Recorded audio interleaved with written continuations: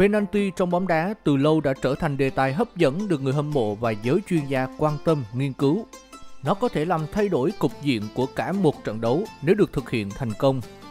Tuy nhiên, cũng có rất nhiều cầu thủ gặp khó khăn mỗi khi được giao trọng trách đá phạt và có những cú sút phạt đền khiến khán giả cười ra nước mắt.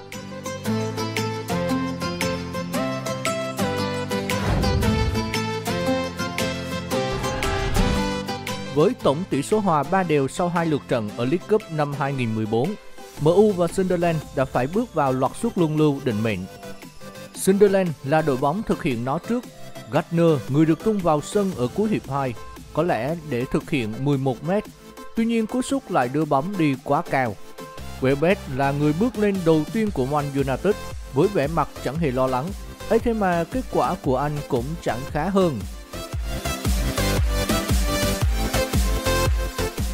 Người thứ hai của Sunderland thực hiện 11m thì lại có cú đặt lòng quá hiền, tạo điều kiện cho De Gea đổ người cản phá. Fletcher của MU bước đến, đội trưởng với trọng trách rất to lớn, giúp toàn đội vực dậy và anh đã thành công với cú đá hiểm hóc của mình. 1-0 sau hai lượt sút. Marcos Alonso là người khởi đầu loạt sút thứ ba. Cầu thủ Tây Ban Nha tung cú sút tốt đủ để đánh bại thủ môn đồng hương Kế đến là Januzaj của MU, số 44 có cú đá mạnh nhưng mà chưa đủ hiểm hóc để đánh bại Manon. Cầu thủ người Hàn Quốc của Sunderland, Ki Sung Jong đã chậm rãi lấy đà rồi kết thúc gọn gàng đánh lừa De Gea.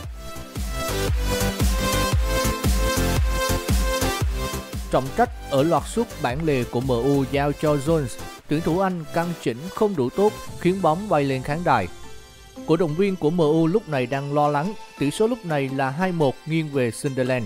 Người xuất loạt cuối cùng cho Sunderland là Johnson. Áp lực từ trên khán đài là rất lớn với những tiếng la ó. Và quả nhiên anh không thể vượt qua được chính mình. Lần này người xuất sắc hơn là thủ môn Tây Ban Nha.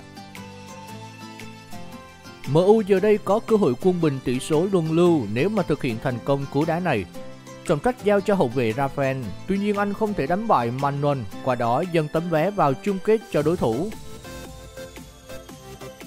Copa America 2011 giữa Brazil và Paraguay diễn ra đầy máu lửa với hai thẻ đỏ chia đều cho mỗi bên. Hai đội kéo nhau đến loạt luân lưu khi chẳng thể ghi bàn thắng trong trận đấu. Cú đá đầu tiên đã không đưa may mắn đến với những vũ công Samba khi Elano đưa bóng lên trời đầy núi tiếc. Barreto là người đá quả đầu tiên cho Paraguay, cú sút quá ẩu đưa bóng đi chệch cuộc dọc đầy đáng tiếc. Người có nhiệm vụ khai thông thế bế tắc này kế đến là Thiago Silva. Ấy vậy mà thủ thành Villa Viveros đã quá xuất sắc cản phá. Số 21 của Paraguay là Estigarribia bước lên với trái bóng trong tay đầy tự tin anh ấy tung cú sút vào giữa khung thành, không cho Ses cơ hội cản phá, tỷ số luân lưu được mở. Brazil cần có được sự chuẩn xác nếu không muốn thua. Andre Santos lấy đà và thực hiện cú sút bóng lại bay lên trời trong sự tiếc nuối của khán giả.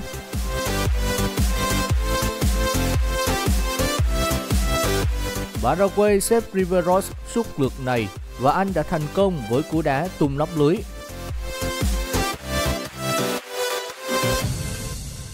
Brazil phải thành công cú sút này để níu kéo hy vọng dù mong manh. Tuy nhiên Fred lại đá bay đi hy vọng đó, đưa Paraguay vào bán kết đầy kịch tính.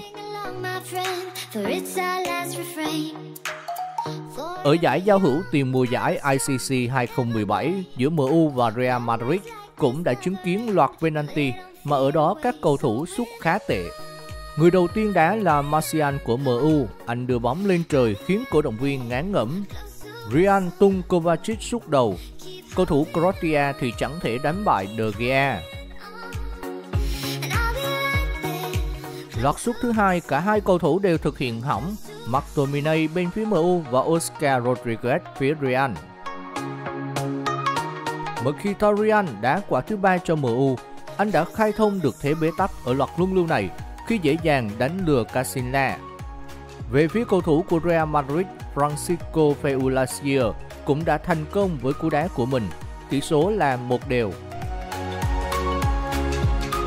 Victor Lindelof đá 11m khá tệ với cú đá không khó với Casilla.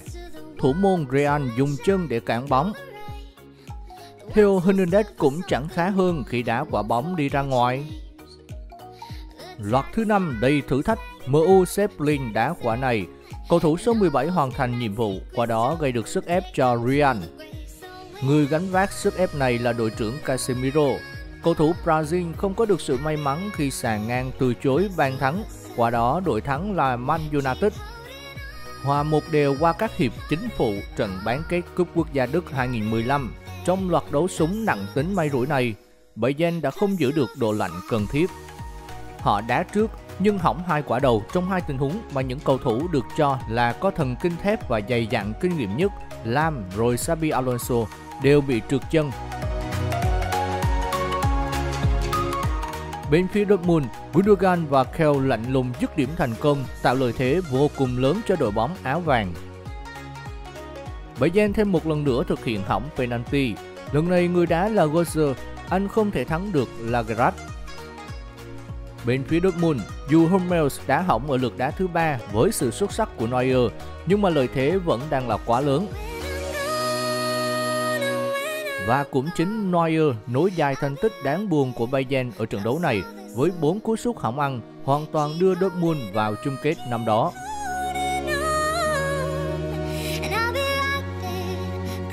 Vincent Kobe và Yokohama đã tạo ra một trận đấu hiếm có ở siêu cúp Nhật Bản 2020 khi mà ở loạt sút luân lưu, hai đội đã hỏng chiến quả penalty liên tiếp. Thiago Martins thực hiện cú đá đầu tiên cho Yokohama anh đá một cú đầy giải tỏa đưa bóng đi mạnh vào lưới. Ngay sau đó, Andres Iniesta bước lên và gỡ hòa một đều cho Vincent Kobe với cú sút đánh lừa thủ môn. Loạt sút thứ hai, Ogihara của Yokohama và Tanaka của Kobe đều thực hiện thành công để duy trì thế cân bằng ở loạt đấu súng. Nhưng rồi hai bên lần lượt đá hỏng chiến quả tiếp theo, trong đó có cú đá vọt xa của Thomas và Malen cựu trung vệ Arsenal, Barca và nay khoác áo Kobe ở lượt thứ 6.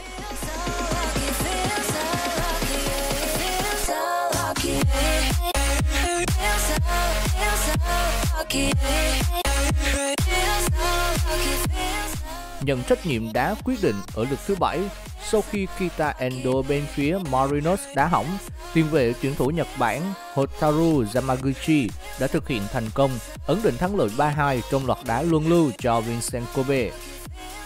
Vừa rồi chúng ta đã điểm lại 5 loạt luân lưu với nhiều cú sút tệ của các cầu thủ.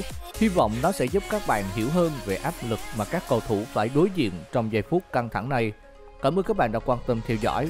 Đừng quên ấn like và subscribe cho kênh chúng mình để luôn cập nhật thông tin mới nhất về bóng đá thế giới nha.